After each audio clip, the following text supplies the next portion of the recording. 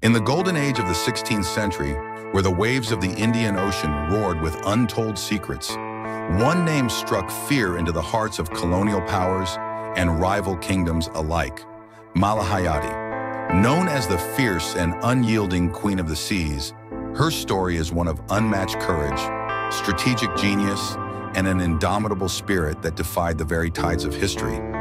Malahayati, Born in the early 1550s in the coastal city of Aceh, Indonesia, was destined for greatness far beyond the conventional paths of her time. Her early life was marked by an intimate understanding of the ocean's capricious nature, an advantage that would later become her greatest strength. As a young woman, she was thrust into the tumultuous world of maritime warfare, where she would forge her legacy as the unrivaled commander of the Acehnese fleet. The rise of Malahayati began with the fall of her husband, who was a prominent naval commander. Instead of succumbing to grief, Malahayati seized control of his fleet and transformed it into a formidable force against the Portuguese and other colonial adversaries. Her remarkable leadership and tactical prowess soon earned her the respect of her crew and the fear of her enemies. Under her command, the Acehnese Navy became a dominant power in Southeast Asia. She masterfully orchestrated numerous naval battles, using innovative strategies that often left her opponents in disarray. Her most notable triumph came in 1582 when she led a successful raid on the Portuguese fortress of Malacca. This daring attack not only demonstrated her exceptional strategic mind, but also significantly diminished Portuguese influence in the region. Malahayati was the daughter of Admiral Mahmud Shia of the Aceh Empire. After completing her education at Pesantren, an esteemed Islamic school, she pursued further studies at the Aceh Royal Military Academy, also known as Mahad Baitul Maqdis. After the Portuguese conquest of Malacca, Aceh emerged as a more formidable power, securing the Malacca Strait as a trading route exclusively for Asian merchants. Sultan Alauddin Mansur Shah bolstered his military strength by constructing a formidable navy and appointed Malahayati, a renowned widowed warrior from Aceh, as his first admiral. Malahayati, already esteemed by Aceh's soldiers and generals for her legendary command in numerous battles against the Portuguese and Dutch, was the natural choice for this crucial role. Malahayati was the first woman admiral in the modern world. Her troops, known as the Inong Balee, were uniquely composed of widows from Aceh, a formidable force named after Fort Inong Balee. In 1599, Dutch expedition commander Cornelis de Houtman arrived at the port of Aceh, where he was initially met with peace by the Sultan. However, de Houtman's subsequent insult ignited a conflict. Having already clashed with the Banten Sultanate in northwest Java, de Houtman decided to launch an attack on Aceh.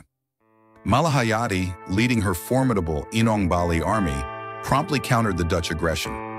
After a series of fierce and brutal battles, Malahayati secured a decisive victory culminating in the death of de Houtman on September 11, 1599. In 1600, Dutch Navy commander Paulus van Caerden plundered an Acehnese merchant ship off the coast of Aceh, seizing its precious cargo of pepper. In response to this affront, Malahayati ordered the arrest of Dutch Admiral Jacob van Neck in June 1601. Amidst ongoing incidents that hampered Dutch naval expeditions and the looming threat from the Spanish fleet, Dutch Prince Maurits van Oranje dispatched emissaries with a diplomatic letter of apology to the Aceh Empire. Admiral Laurens Bicker and Gerard de Rooy represented the Dutch in these negotiations. In August 1601, Malahayati met with the Dutch emissaries to finalize a treaty agreement.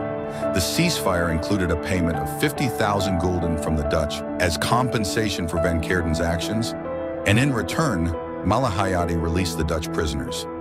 Following the agreement, the Sultan sent three emissaries to the Netherlands to solidify the diplomatic relations.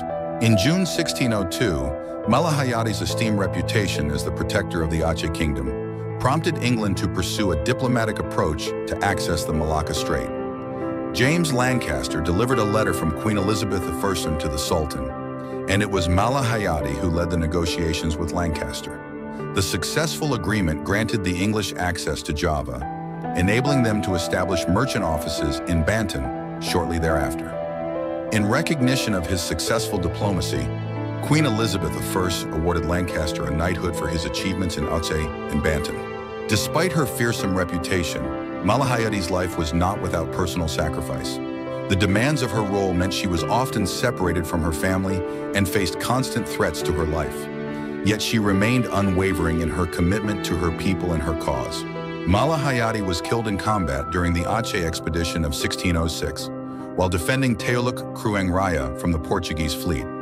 She was laid to rest on the slope of Bukit Kota Dalam, a small fishing village approximately 34 kilometers from Banda Aceh. Malahayati's death in 1604 marked the end of an era, but her legacy endured. She is remembered not just as a pirate queen, but as a pioneering leader who reshaped the course of Southeast Asian history. Her life remains a testament to the power of determination and the strength of a woman who dared to defy the ocean's roar and the world's expectations. Today, the story of Malahayati continues to inspire awe and admiration, a powerful reminder that history is often shaped by those who dare to challenge the norms and carve their own path against the fiercest of tides.